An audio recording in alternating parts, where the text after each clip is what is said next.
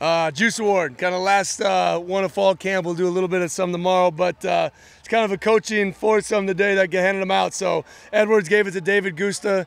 I think David has elevated his game, and Wednesday night, he was one of those guys that just played with such great effort. I know he talked about run the ball already. Coach Kreiner gave it to Jeray Williams, keeps getting better and better. Coach Witt gave it to Xavier Thorpe. For a young guy through the first three weeks, he's been phenomenal on our offensive line. And Coach Castor, you got to give it to a running back, so we gave it to DP. Didn't get a chance to ask this about uh, on Wednesday. Does Nusi's not going to be on hands team anytime soon, is he? Did he tell you that? No, but we've seen now two in the last year. Uh, no, I would. That's not the plan. But hands team is about people you trust, and if you're the guy we trust to go out there in a big moment, we put RJ on the field last year, so we'll see. I think he bobbled it too. I think Coop had to save him, didn't he? Coop saved him. There's no doubt. Uh, RJ forgets that moment.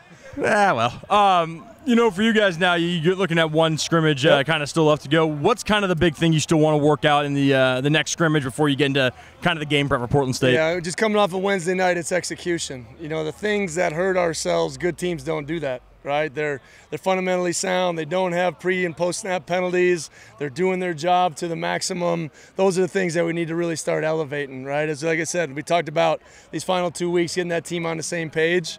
It'll be kind of the last little showcase before we take down a lot of the physicality and start to get ready.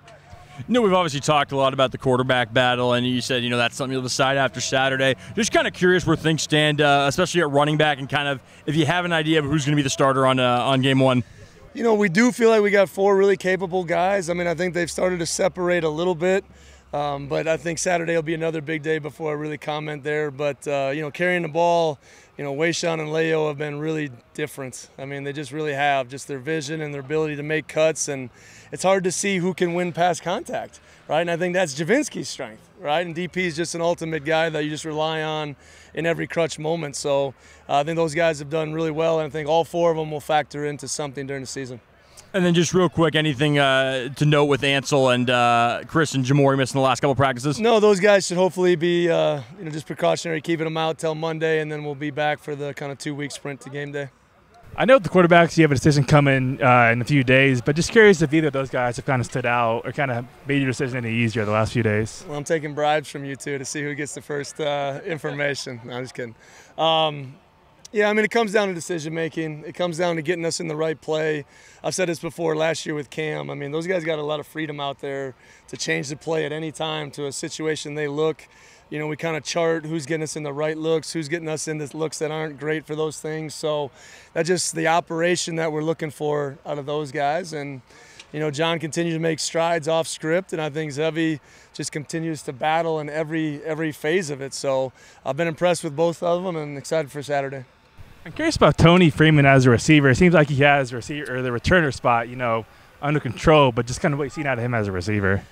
As a wide receiver? Yeah. Oh, I mean, I think Tony's a not just a take the top off speed guy, but he's a playmaker with the ball in his hands. I know a lot of you know we talk about the vertical stretch, Tony Freeman, but I'm talking about the lateral stretch, like on the on the bubbles and the quick screens. Him being able to take that ball and, and create some big explosive plays that way too. So he's been really really good.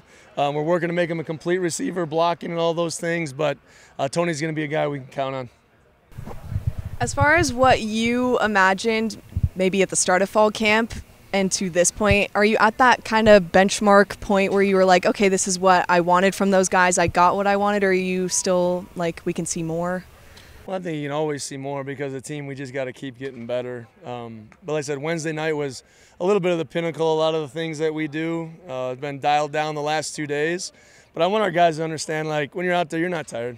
Stop telling yourself you're tired. You know, we've been extending drives, O line being on the field for eight to 10 to 12 plays at a time just in case we need that.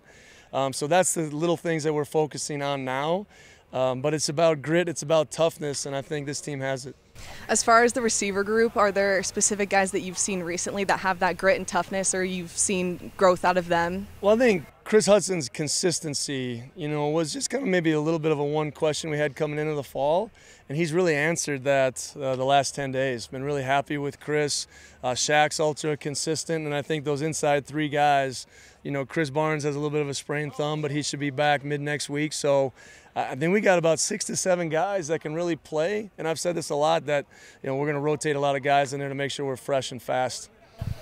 Anything specifically you're looking for tomorrow for scrimmage, or anything you want to try out? Is it experimental, or is it just kind of run in? You know, no, I think we've tried. You know, I've said this. We've tried. You know, the O line combinations, and guys are more settled down, so we can execute. Right. So, you know, trying different guys, different places. I want to see what they can do, and I've told the coaches I want to see these guys play fast.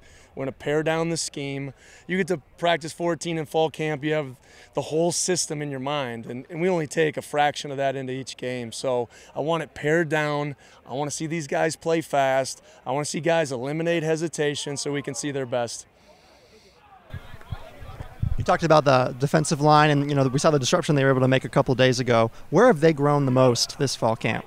Well, I think just because it's not a group of individuals, I think rushing the passer together, I've really seen their physicality grow, right? And I, I do think we got a good offensive line. So if those guys can be disruptive against our guys, I feel comfortable, you know, each and every week that we can have an advantage there at the defensive front. So, you know, Khalil Laufau got a pick the other night. I mean, we got to Nusi dropped another one, right? So we're working on that. But uh, at the end of the day, these guys are having fun. They're playing together, and same thing. We're going to rotate a ton of guys to keep those guys fresh.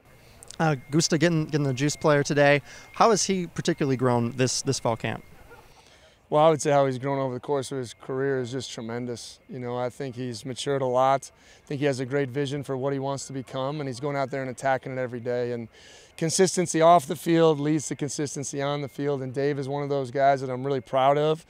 You know, you want your D linemen to be a little edgy, a little tough, a little physical, and that's what Dave brings to this football team, and we love it going into your final scrimmage, and you talked about defensive communication being the next step. Who has stepped up this week to kind of to ease that process? One thing we've noticed a million times that when KT's out there, our defense runs very smooth. You know, so Keith Brown needs to step up to get to that point. Wes Steiner needs to step up. Frank Casano to make sure those guys have those levels of trust um, around them. So Jackson Latamua in week three has, has been phenomenal, just as far as being really comfortable in his role. And I think he's really elevated us at that strong safety position. All right, guys. Thank you. Go Cougs.